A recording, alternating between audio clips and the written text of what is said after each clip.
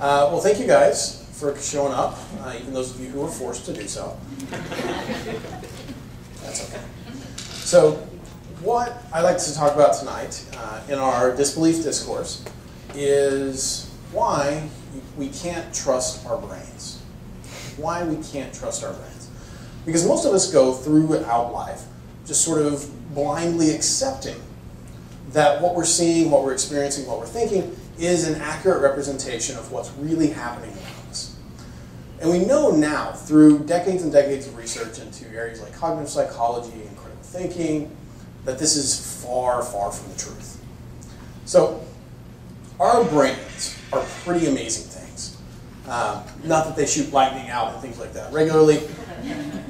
out, anyway. There are electrical impulses, though, that are, are traveling, you know, uh, millions and millions of times per second throughout our brain. And so our brain is this amazingly complex thing. There's something like 100 trillion connections between the neurons in our brain. That's more stars than there are in our galaxy. I mean, it is an amazingly, amazingly complex thing. It's also wonderfully resilient in terms of being able to bounce back from injuries, um, being able to learn new information. Even as you age, it turns out old dogs can learn new tricks. Know, just have to shoot them once they get old. I've made many mistakes, apparently. Uh, and I'm very sorry to all those dogs. Um, but it's, it's, it's wonderfully resilient, wonderfully resilient. But at the same time, despite this complexity, despite this resiliency, our brains, and consequently ourselves, because that's what we are, we are our brains, are very easily fooled. Very easily fooled. And what I'm going to talk to you about tonight is sort of why that is. Um, I'm going to briefly go over about seven ways that we fool ourselves. And these are very broad, broad categories. I'm only going to be talking about three out of these seven categories tonight, because if I talked about all of them, you would be here uh, until approximately the fall. Uh, and I know many of you have jobs or things like that, families that you want to attend to. So I'm just going to talk about three. If you would like to learn about more of them, you can certainly uh, go onto my website, uh, caleblack.com, where I have slides up for my entire course that I teach. Uh, I essentially do a four-week lecture on this topic. Um, and so if you guys are interested in that, let me know and I can certainly uh, give that to you. Right? So things that we have in terms of uh, ways that we fool ourselves can be broadly divided into two separate categories. The first one of these is what I've called problems in thinking. And there are specific kinds of problems in thinking that we see. The first one is what I call scientific problems in thinking. Uh, so you're like, wait a minute, isn't science awesome? Yes, it is. It is awesome and it's fantastic, but there are still problems in scientific thinking that can help us to fool ourselves, and we'll talk about those. Uh, the second category is what we call problems in pseudoscientific thinking. Pseudoscience, of course, are these things that act like science, try and dress themselves up as science, but do not actually follow the methods of science. So they're just sort of putting on airs. The third one and the last one we'll really going to be talking about tonight uh, is problems in psychological thinking. So ways that our brains have naturally you know, evolved over the course of millions and millions of years to pay attention to certain things and not others, to be fooled. Right?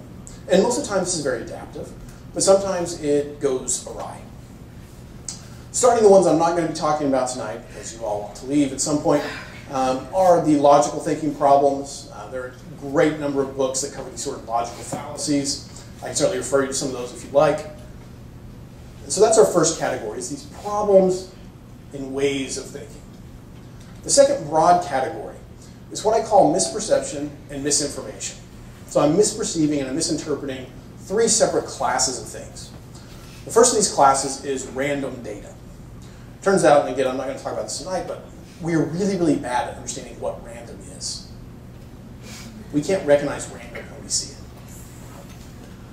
Uh, incomplete or in non-representative data, uh, so we get information and don't have the full picture available to us. And then finally, ambiguous and inconsistent beliefs.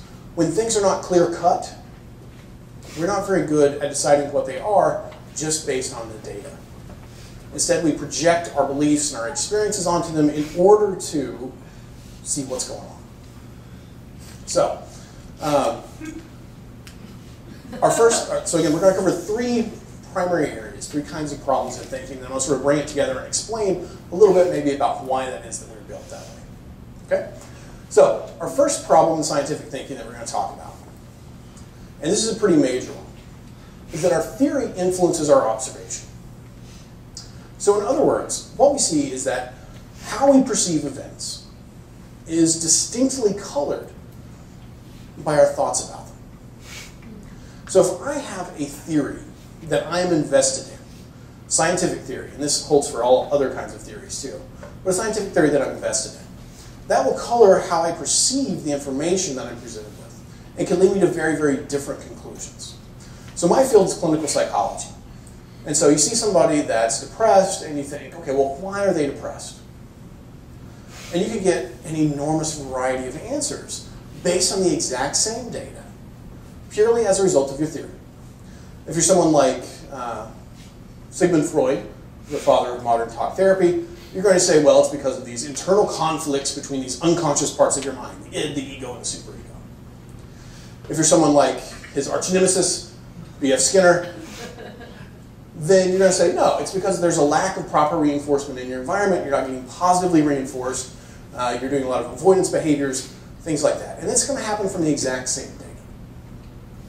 This is, to me, one of the problems um, that the public has when scientific information is presented. Well, but this study said that. This study said that. Right. That's okay. Because we, as science, we can accept conflicting information and not be completely wigged out by it. We can say, okay, I don't know what to make of this. You know, your theoretical basis says this is what's going on. Yours says this is what's going on. Well, let's see where the data lead us. And eventually the data will lead us to a conclusion about which one of these is right. Uh, it's certainly not pointing out that this fellow's right, if anyone's curious. Uh, and then this guy was only partially right. There's a whole lot more going. And that's what science does. It continues to expand. So this is one of our problems in scientific thinking. One of our other problems that we have is that the observer changes the observed. So the example I often give is, you know, if I wanted to observe the cursing behavior of undergraduates, I would, I would go into the student union and I would stand up on one of the tables. And I would say, excuse me, everyone. I'm going to be counting your curses. Please just act normally.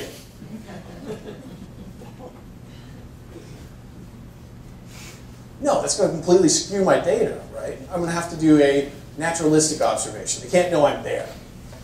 But unfortunately, a lot of the times, you do know you're there. So in our psychology experiments, for example, uh, we run you know, hundreds of subjects here a semester, and all those subjects know they're in an experiment. They know they're being observed.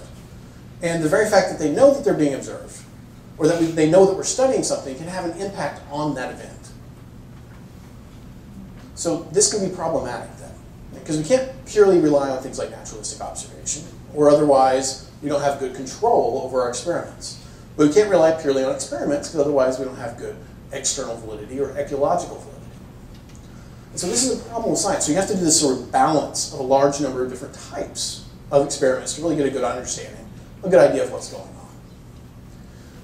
Even people who start out trying not to interfere with what they're observing often end up doing so. So you guys can probably tell, you know, the picture of Dian Fossey and Jane Goodall, noted for their work with the great apes. You know, they set out to be just observers, and the next thing I knew, they were interacting with these populations. And that happens all the time. That changes the data that you get. Our third problem in scientific thinking is our equipment constructs our results. What we use to study something determines what we learn about it. Um, the way that we measure things then impacts how we theorize about things. And one of my favorite examples of this is the telescope. Uh, everyone here has seen a telescope, and most of you have probably looked through a telescope. Chances are you have binoculars that are actually much more powerful than our first telescopes. And so if I'm using something like this, which is a recreation of the original uh, telescope that Galileo Galilei used, or I'm using something like this, which is a large radio telescope, which can see obviously much, much further in across different types of electromagnetic spectrums, that's going to have a huge impact on how you're theorizing about things. Just like when, you know, before we had telescopes, we didn't really know what planets and stars were. So these little points of light up there, what's that you think? Ugh, who knows, right? Somebody poked a hole in the, uh, you know, the night sky. No, it turns out those are suns, right?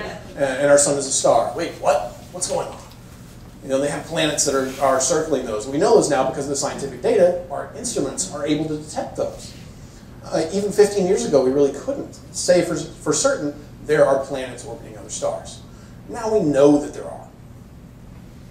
It's because our equipment's changed. And so that impacts how we theorize. That impacts our science, in other words.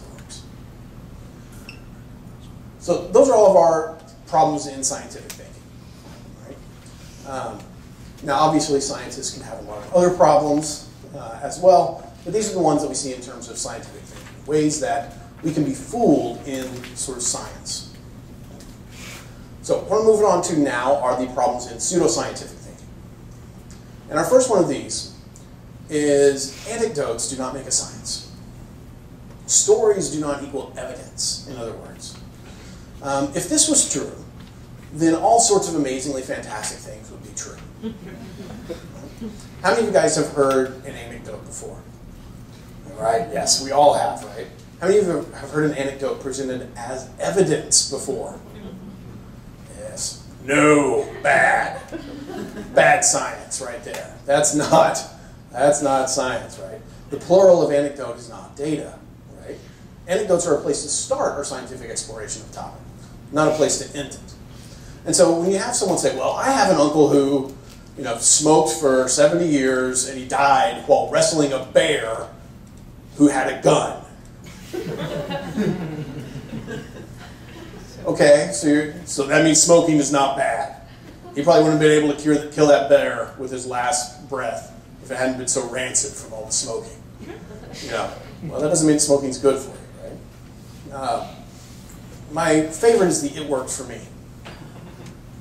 And this is what you see on all these pseudoscientific products that are put out there. It worked for me.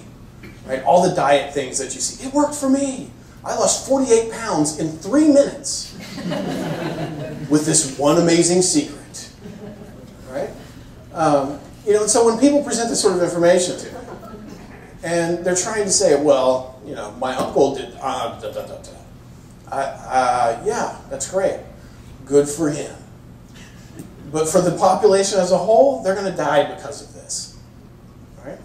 Um, or, well, you know, I clicked on that internet ad, and it turns out uh, this is two completely different people, obviously. Right? But I clicked on it regardless because she dropped 21% of body fat in just three weeks.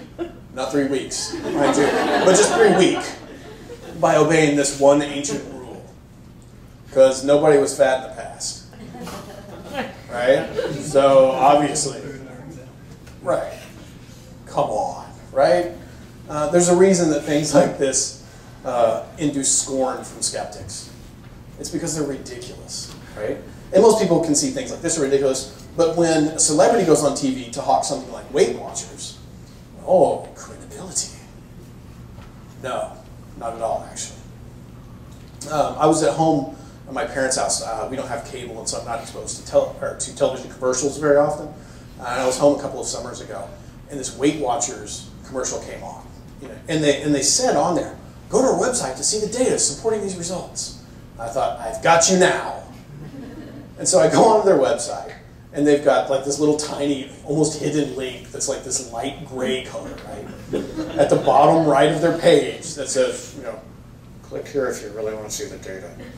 And so I clicked on it and had their study that they had run, and it was it was a fairly well controlled study. Um, and what it showed was that over the course of about three months, the average person on Weight Watchers compared to someone who was eating uh, just whatever they wanted to eat uh, and also exercising, because they tell you they have to do that, right? Um, somebody who was exercising and doing Weight Watchers versus somebody who was exercising and not, uh, the person on Weight Watchers lost an average of three more pounds across three months, which is the equivalent of me taking a really big pee. Right? I mean, this is this is not a clinically significant difference in weight. Um, but they're presenting it as there was a difference. Well, yeah, there's a difference. I mean, there's a difference in my height between when I uh, wake up in the morning and when I go to bed because of compression of my spine. But that doesn't mean that people look at me at 9 o'clock and go, wow, pants look really long. you know, so these differences, they don't, they don't mean that this something is necessarily true. Our second problem in pseudoscientific thinking is that scientific language does not make something a science. Uh, and this is what we call pseudobabble. And pseudosciences are notorious for employing this sort of a technique, technique where they'll talk about things like energy fields and frequencies and magnetico waves and blah, blah, blah, blah, blah, blah, blah. But they never actually give you an operational definition of what this means. And that's what we in science do, right?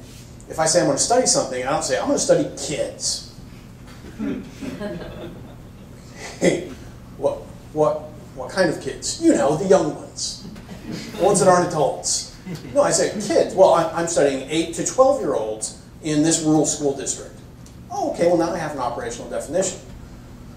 But when you have something like uh, this lovely paragraph from crystalinks.com, fantastic site, I recommend you all not visit it. Many crystals have healing properties that you can discover. Uh, crystals vibrate at different frequencies to enhance healing. How? Shut up and just read the rest, right? That's what they're saying. Quartz crystals have excellent healing properties, also has the ability to transform an imbalanced energy field. You guys know what the technical definition of energy is in science? It's the ability to do work. And so if you actually just replace energy with ability to do work, that makes these seem even more ridiculous, which is kind of fun. The ability to transform an imbalanced ability to do work field. Now it just sounds silly, right? It sounded pretty good before. But you know, see what it revitalize you, balance your energies. They ionize the water, so therefore they must heal. Really? How about your how about your uh, your hair dryers? Not that I'm familiar with them, but hair dryers. I've seen them. They're like ionic hair dryers that are supposed to you know do magical things to your hair. Are they healing your hair? Is that what's going on? Maybe. Do they have crystals in there that are healing your hair? It's worth investigating. And it's a whole new market, right? The healing hair dryer. Um, I may patent that later. Um, so just because you somebody sounds sciencey, in no way means they actually are sciencey. Our third problem is that just by making a bold statement or a bold claim, that does not make something true. I have long, beautiful, flowing hair.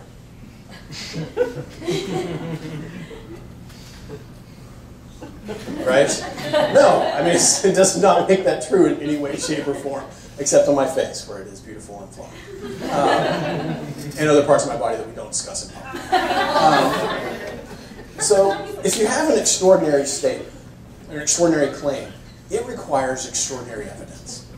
If I walk in today and I'm late to my talk, or I'm late to one of my classes, and I walk in, you know, disheveled and covered in blood and hair, and I walk in and I say, oh my God, I hit a Yeti on my way into class today. I hit it, I didn't know what to do. Uh, I tried to peel it off. I didn't know whether to call an ambulance or a vet. I was terribly confused. It died. I just came to class.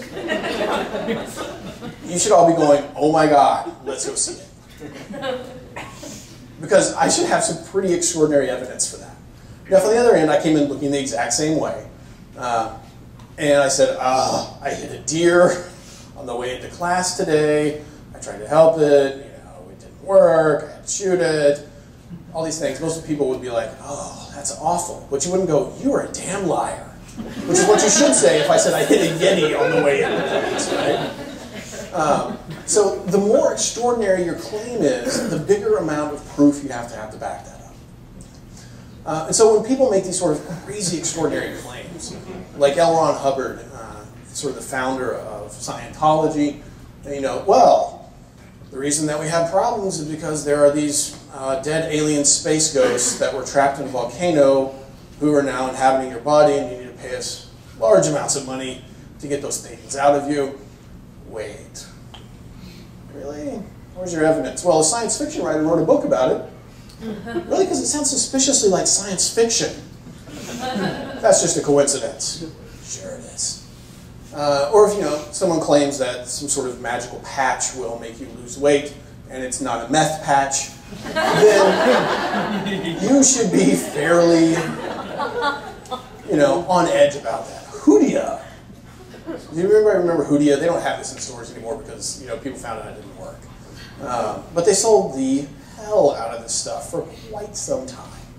All right, because it's this um, ancient herb that came from Africa, and Carmen Electra was hawking it, so obviously it works. Yeah, I think before she got into Hoodia, she was probably fine too, right? Because that's her job, is to look pretty. So if it was my job to look pretty, I would not look like this. I would look much better, I'm sure, but that's not my job. My job is to talk. So another problem that we have is that heresy does not equal correctness. Heresy does not equal correctness. And this is something that you'll often hear when people say these sort of outlandish ideas.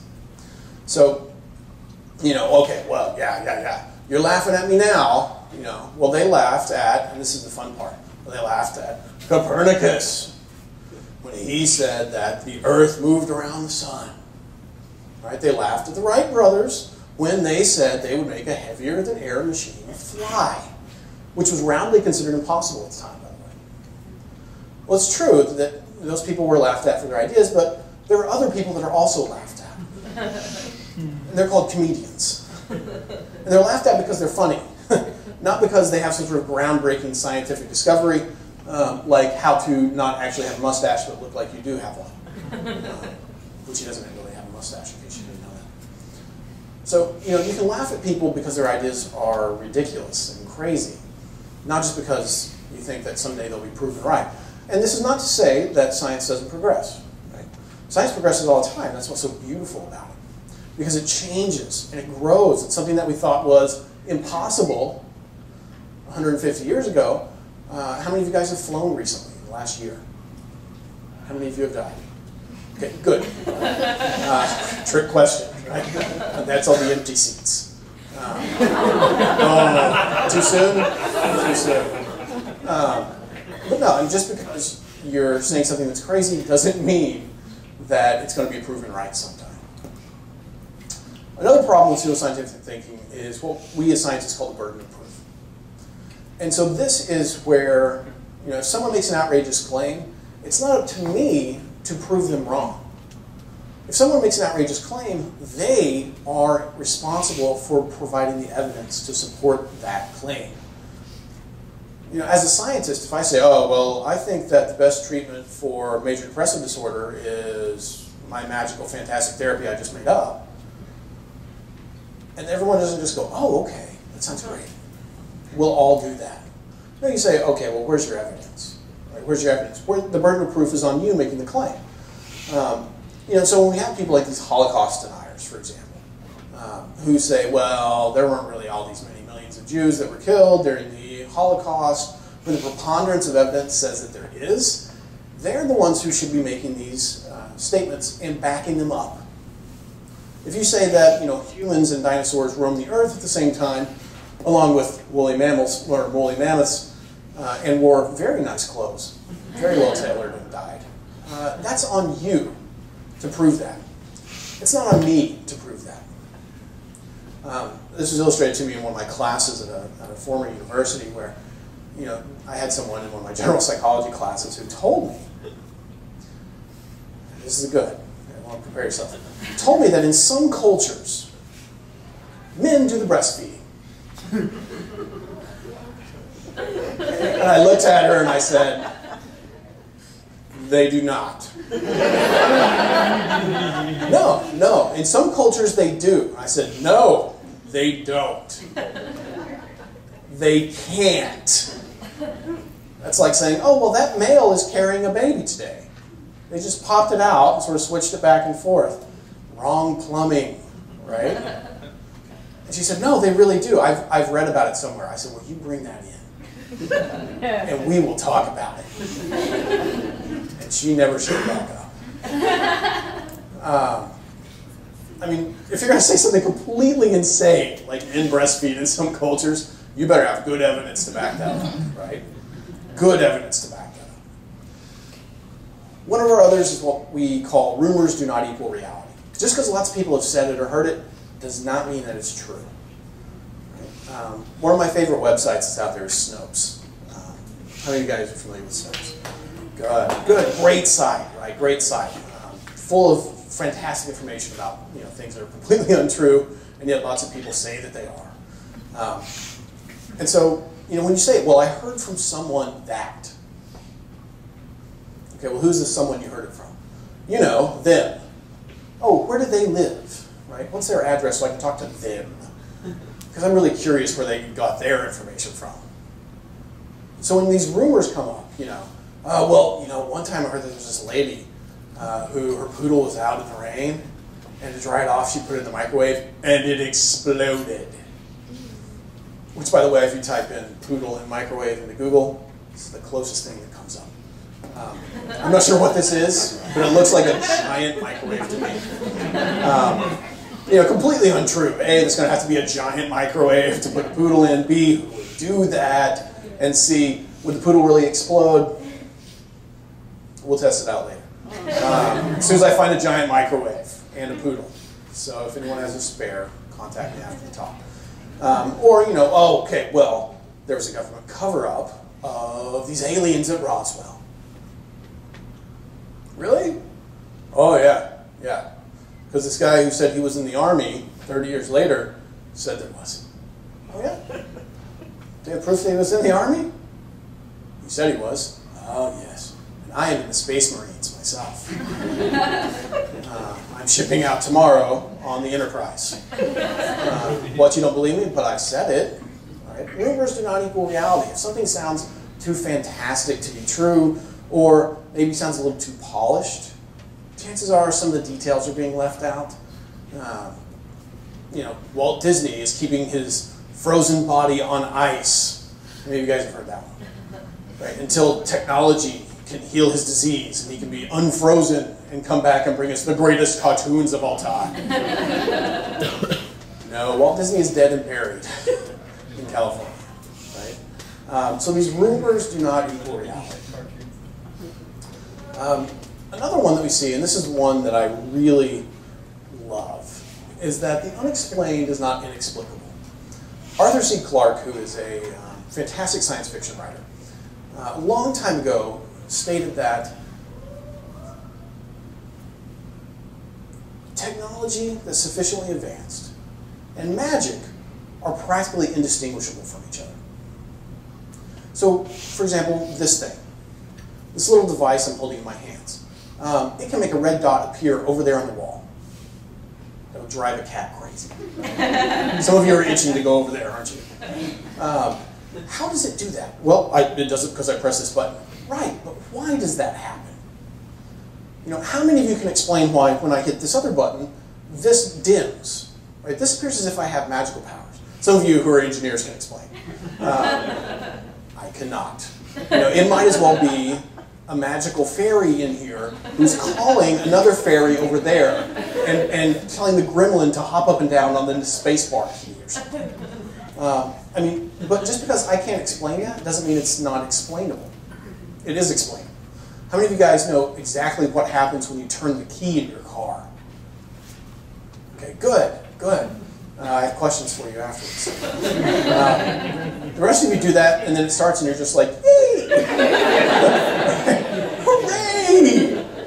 And then when it stops, you're just like, I don't know. I, I don't. There's something under the hood. I thought that was just for looks, right?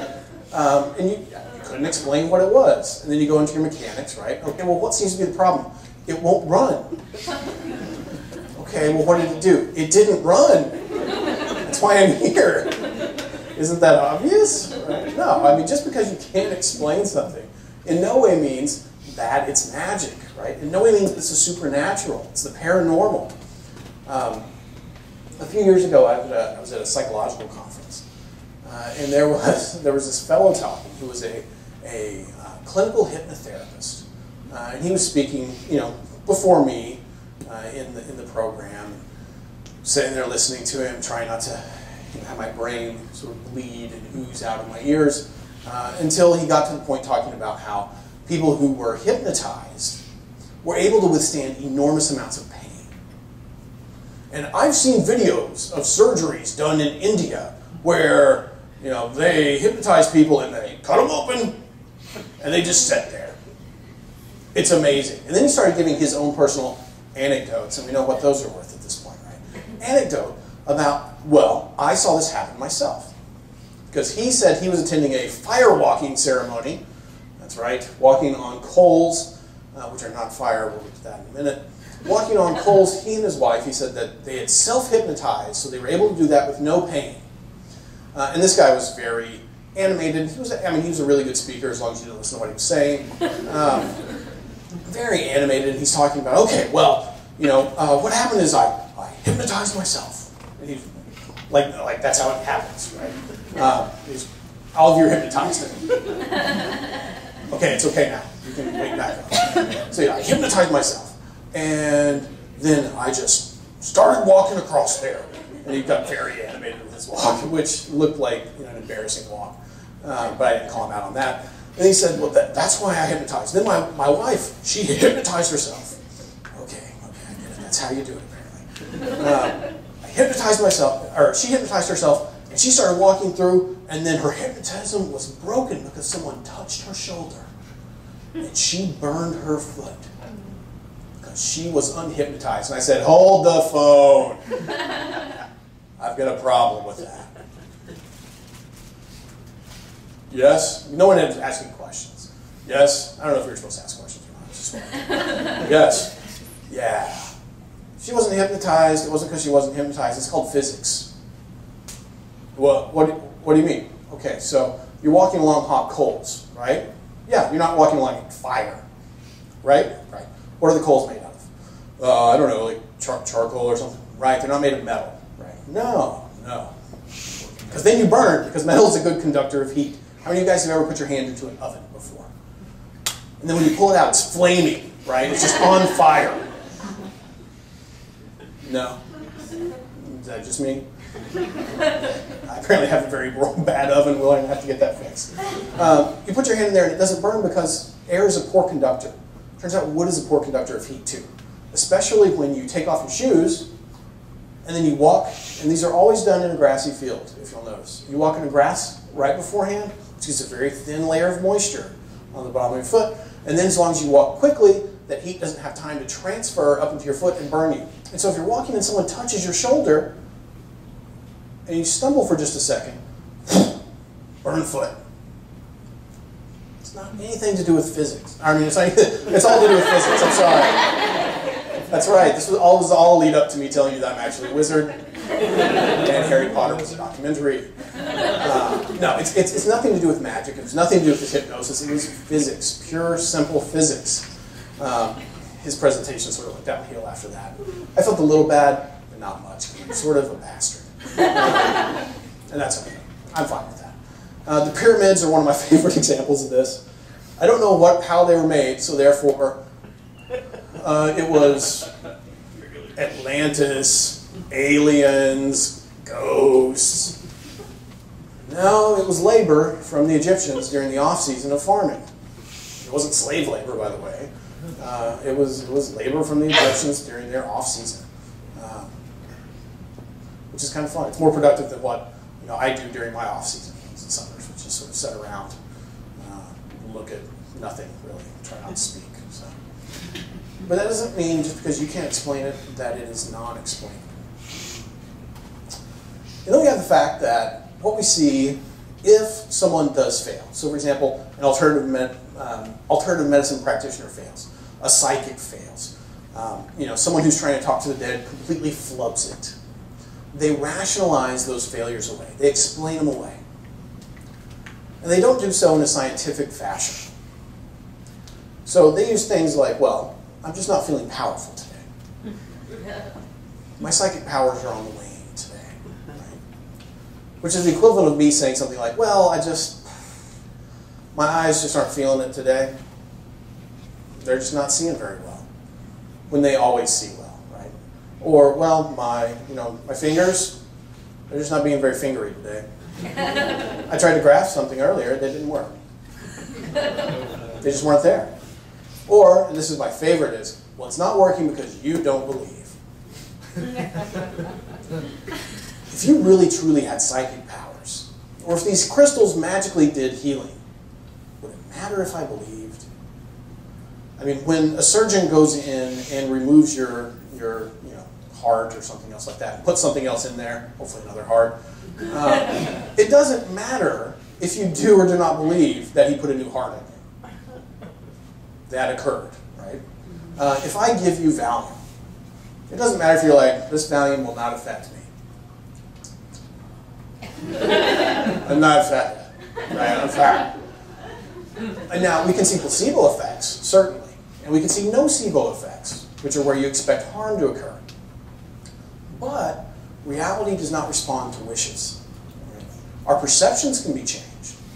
But, you know, when you have these failures, uh, and some of my favorite failures are the, these people that James Randi has exposed. Uh, like this fellow whose name is James Hydrick, who was very popular in the early 1980s. Uh, not so much in the fashion circles, uh, but because of his supposed psychic abilities. He was on numerous television shows until he was essentially debunked by James Randi on live TV. Um, similar to Uri Geller, uh, if you're familiar with Uri Geller, this you know, Israeli psychic who said he could bend spoons and things like that with his mind.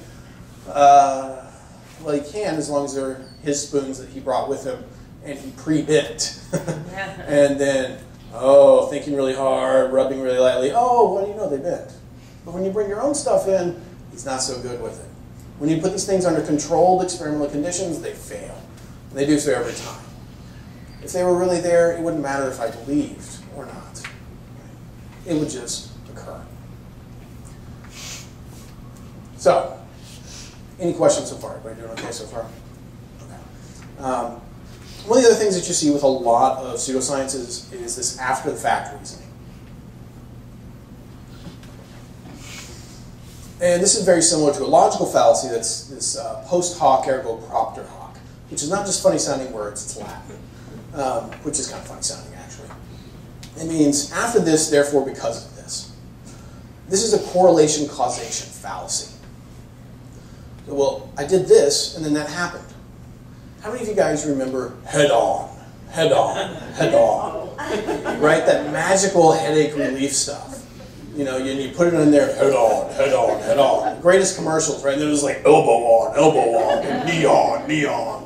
Um, which neon is actually a real thing, but me with a K on, not so much.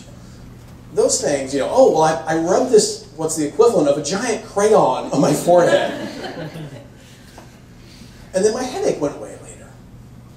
Therefore, it must be the head on. Yeah? No, no, no, no. When do you tend to take headache medicine? When do you tend to take it? When you have headache. Yeah, when you're headache, when you're just beginning, when it's like just a little bit of a headache, or when you're going, sweet mother of God, it's going to explode. I have to do something. That's when you take it, right? You take it when it's feeling the worst. And so just because of regression to the mean, I mean, most people, thankfully, do not have headaches that just continually get worse for their entire lives. they get worse, and then they'll naturally go away. And it doesn't matter whether I do head-on, or I do an aspirin, or I do bourbon, or whatever. It's probably going to go away naturally. So just because something comes after something else doesn't mean it was caused by something. One of my favorite examples of this comes from the Church of the Flying Spaghetti Monster, uh, which if you're not a Pastafarian, I'd recommend checking it out. Um, this is, a, is plotting our average global temperature versus the approximate number of pirates in the world.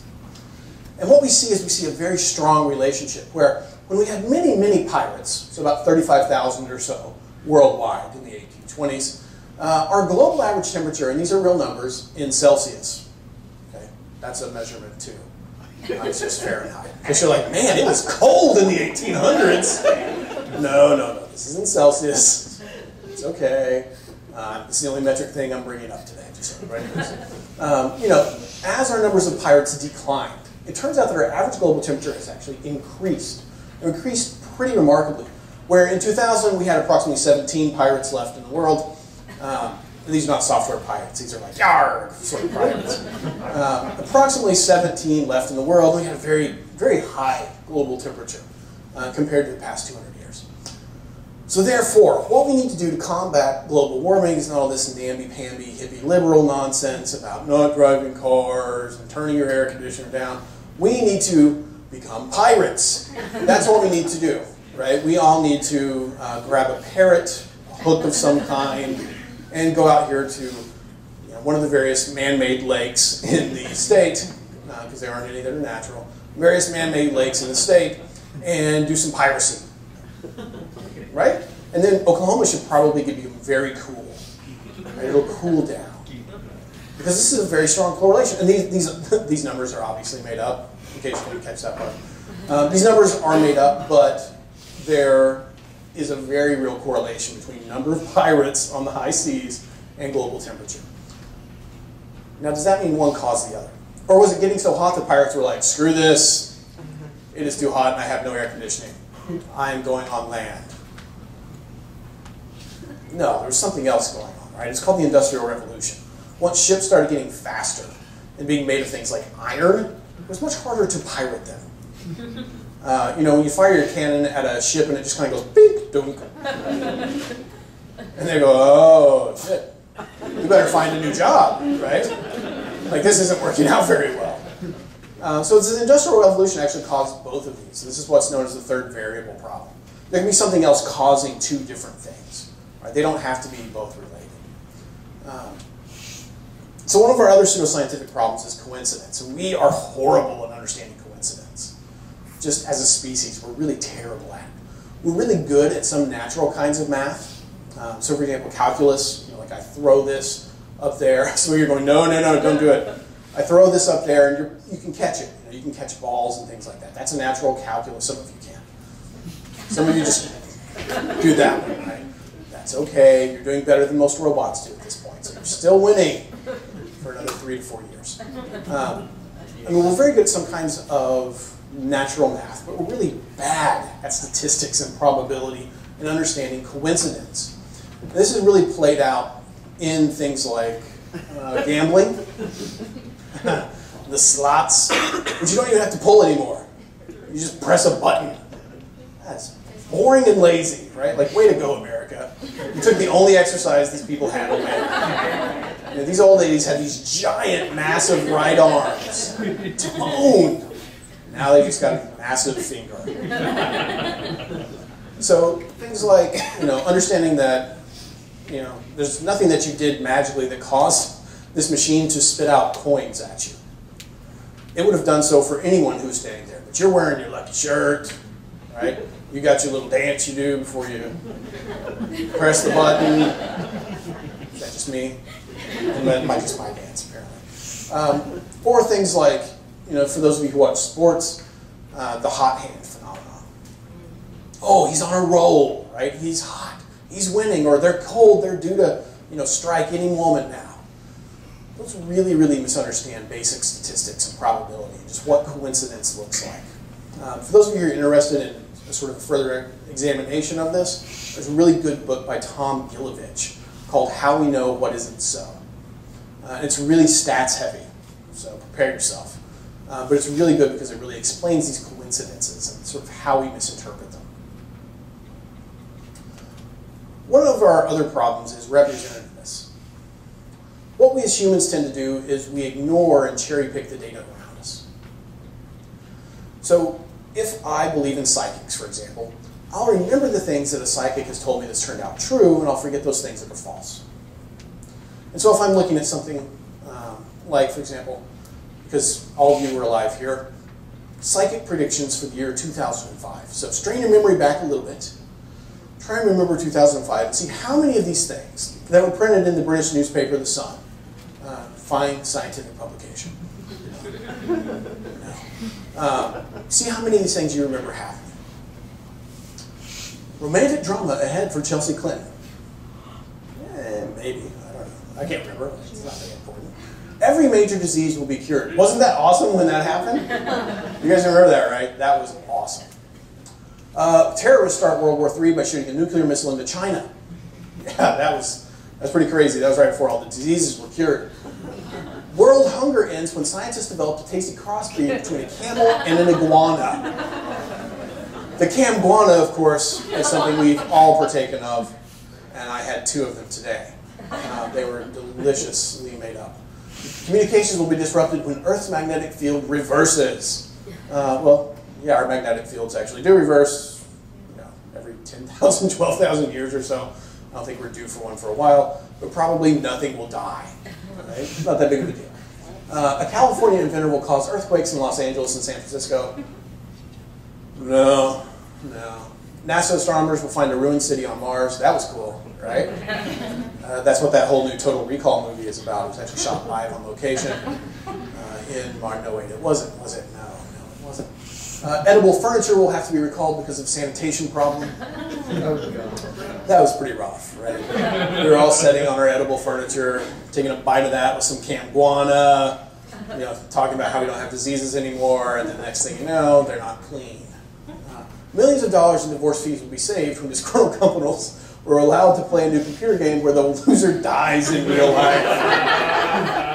this actually did happen, but it was just in Japan. Um, they've got those really crazy games over there on TVs. Uh, there will be a new pope. Oh, oh, wait, there was. So therefore, the psychic was correct. Except if you go back and look at their predictions for the past six years before this, every year they predicted there will be a new pope because he was in terrible health. You know, that's like me saying, uh, there's a chance that a major Hollywood star will do something stupid. oh no! It's not even it's not even a prediction, right? That will happen just because of sheer sheer chance. Um, so those are our pseudoscientific problems, I think. Which brings me to my last group of problems I'm thinking that I'm going to talk about tonight. So you're thinking, yes, there's the psychological problems in thinking. And the first one of these is what we call effort inadequacies. Effort inadequacies. Thinking is hard. thinking critically is even harder, it turns out. We are not naturally critical thinkers. We aren't. It hurts my brain to do the thinking, right? And so we have to practice it, just like we would any other set of skills that we have. Because it's not something that naturally comes to us at all. Right? So we'll put out less effort, we'll save mental effort and energy by taking these shortcuts, things like heuristics, uh, which a lot of times are okay, but sometimes are completely wrong. So that's right, that's what you're being. They're practicing critical thinking. Uh, my son practiced it a lot. Lots of critical thinking going on in that brain. Um, just really, really hard. So just think about that when you see kids. They're just practicing critical thinking. Another psychological problem is as humans, we love and need certainty, control, and simplicity. We like when there's an easy explanation for things. Oh, cancer is caused by too many orange slices. Oh my god, I knew it. Right? Eggs are bad for you. Right, I know. Wait, they're good. Oh, crap. the white part's bad. It is, but the yellow part's good. It is? Or maybe it's the reverse. Who knows, right? Butter's bad. Butter's good. Oil's good. Oil's bad. Motor oil, bad to eat. Vegetable oil, but you can burn it in your car. It doesn't make sense. The world is confusing. Right? The world is confusing. You know, and so if we have theories about you know why things occur, we tend to like the easy ones, the simple ones. Why did that person cut you off? Because they're an asshole, right? That's oh, that's what every one of you thinks immediately when you're cut off. You don't think, I wonder if there's some sort of situational variable in that person's life that is causing them to drive like a complete fool. No, you just go, you know, you're honking. And then when you cut someone off, though, what? There's reasons. It's not just because I'm a bad driver. There's reasons, right? But we like these simple, pat explanations for things. So when you say something like, well, why does the sun rise and set? You know, well, because Apollo drives his chariot uh, across the, sun, the sky every day. Easy peasy lemon squeezy. That is fantastically simple. Completely wrong. Does everyone know that the sun does not rise and set? Am I blowing anyone's mind right now? Hopefully you're not just like, what? The sun does not rise and set. We're the ones moving, right? We're the ones moving. The sun stays still. That's really hard for people to understand. Um, about half of our population doesn't understand that, which should make you concerned for the future of our country. We've known about this for like 700 years now, right?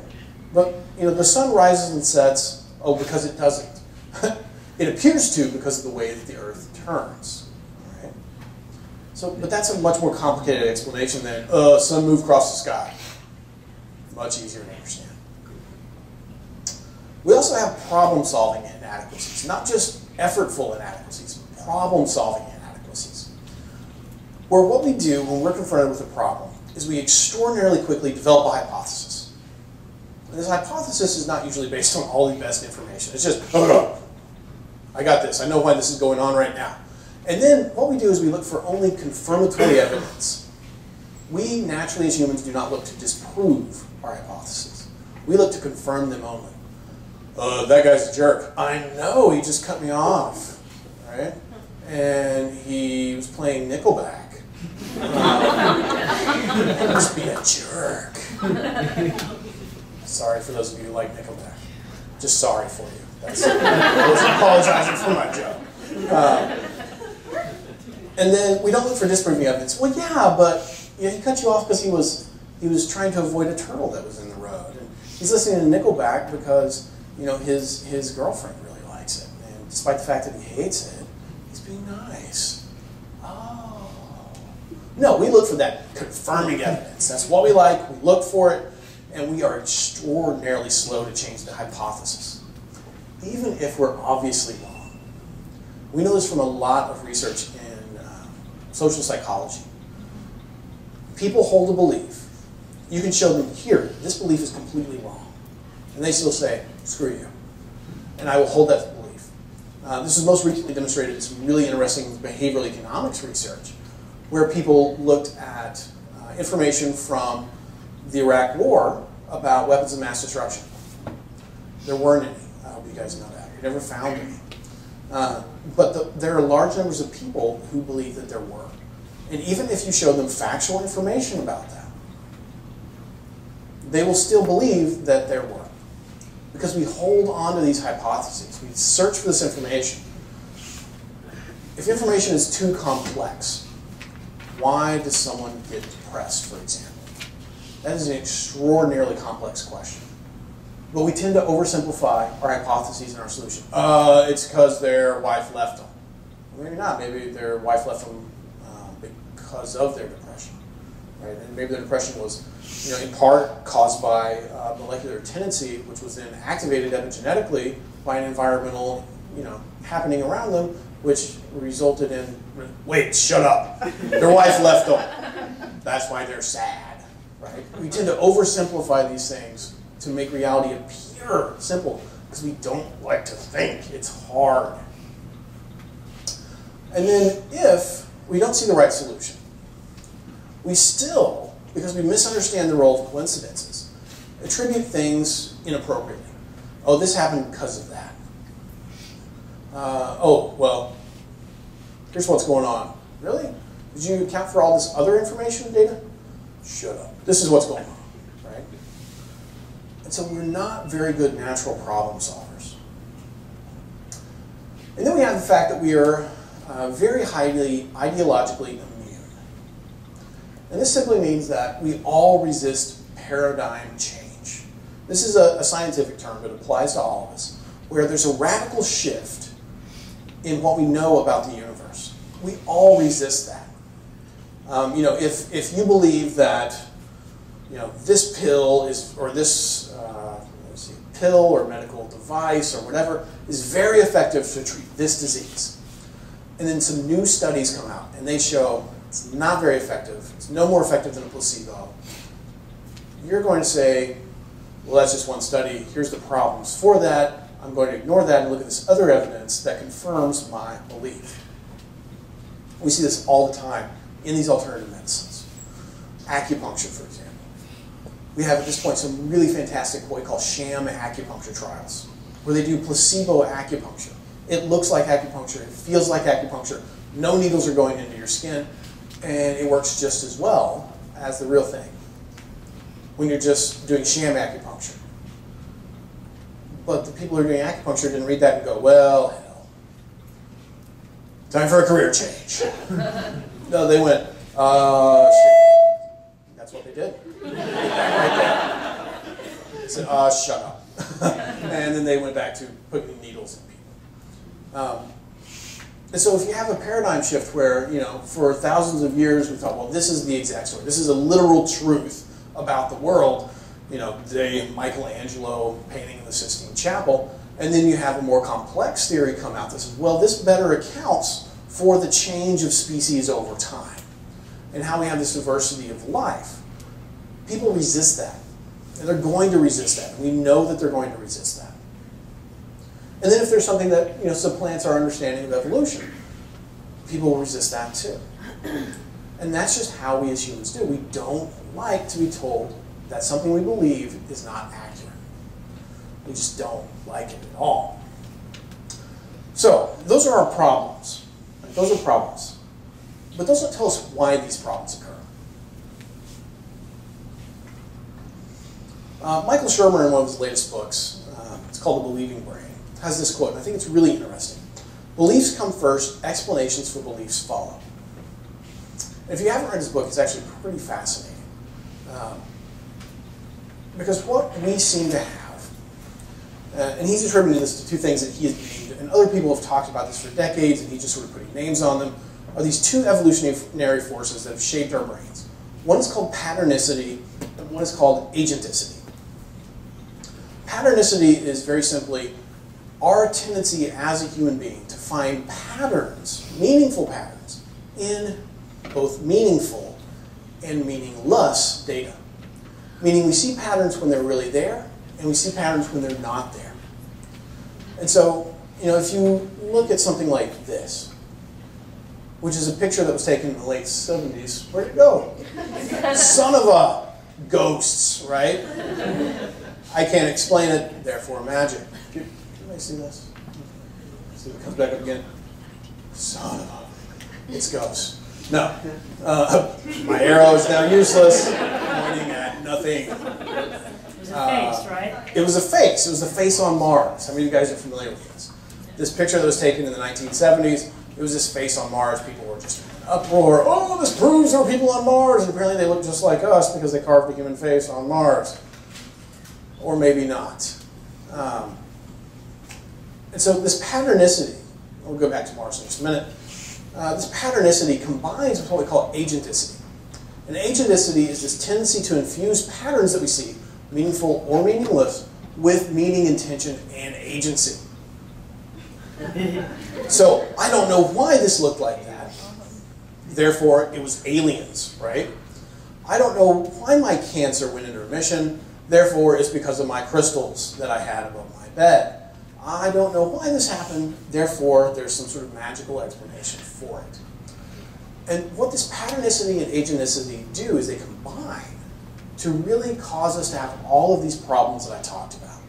These psychological problems, and pseudoscientific problems, because we look for and seek these patterns and meanings. And we do so in these specific ways that I've outlined.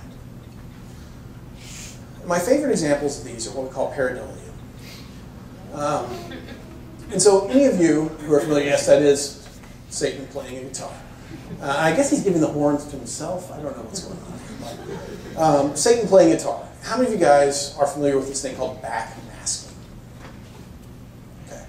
This is where, in the late 70s, early 80s, all of these moms who apparently had way too much time on their hands started playing their children's records backwards and then saying that, what? There were satanic messages on these if you played them backwards. Are your children playing them backwards? No. What's the problem then? Well, they can understand it and hear it. No, they can't, it turns out. Our brains are just not able to do that. Uh, and there's some fantastic websites, I'm just going to show a couple of these uh, just so that you can understand this. But again, this pareidolia, what this is, this is simply I look for something so I find it. Right? I look for something so I find it. So, uh, let's see. Let's say uh, Stairway to Heaven. We're all familiar with Stairway to Heaven, Led Zeppelin song. If you play it forward, If there's a bustle in your hedgerow, don't be alone there.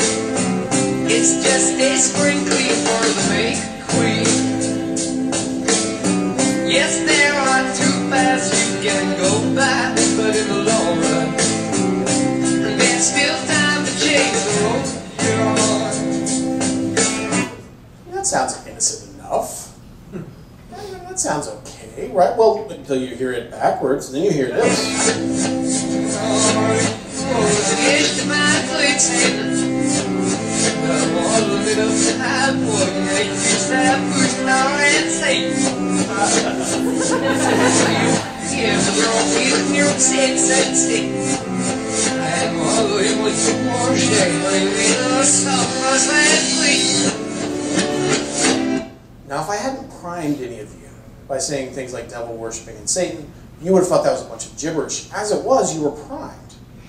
And you were primed, you were looking for this. You were looking for this sound. And so here, here's the supposed real lyrics. Oh, here's to my. It's my sweet Satan. I'm all of it up to high boy, make you stop pushing on and say. You,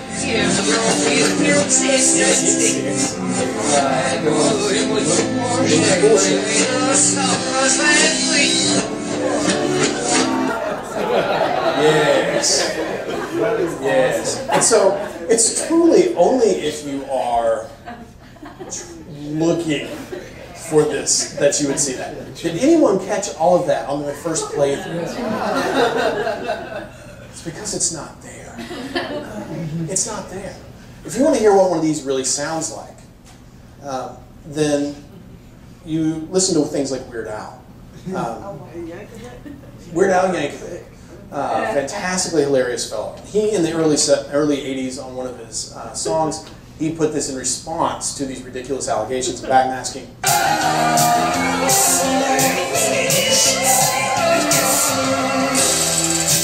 That's what backmasking really sounds like. So that's what it was like in his song. Now, if you play it backwards, what you hear is.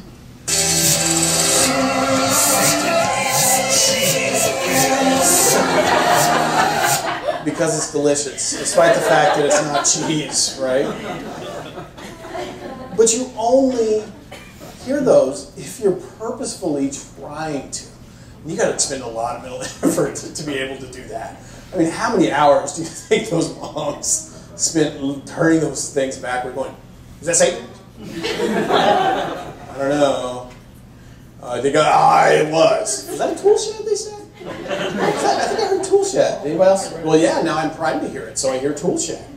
Um, and so what we as humans do is we're not very good at separating naturally the wheat from the chaff, the good from the bad, the sense from the nonsense, because we're not naturally critical thinkers. We're just not naturally critical thinkers. And the only thing that we've developed that can reliably help us to think critically is the scientific method. And that's what it's designed to do. It's designed to prevent us from fooling ourselves. It's designed to allow us to think critically because we're really not very good at it. So hopefully tonight you guys have come to a little bit more of an understanding of why people believe things that are very odd without good evidence.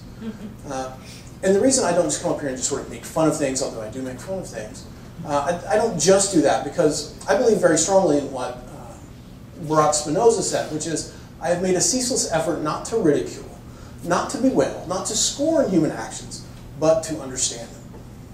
So hopefully you guys understand them a little bit more uh, at the end of this, and that's all I got. So I'm happy to take questions, or you can flee like Thank you.